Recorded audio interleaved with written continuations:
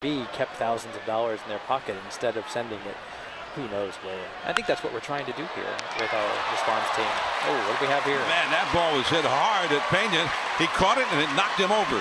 Chris Kimura, NBC Bay Area responds. And all the best and thanks for coming on with us. Thanks for having us. Chris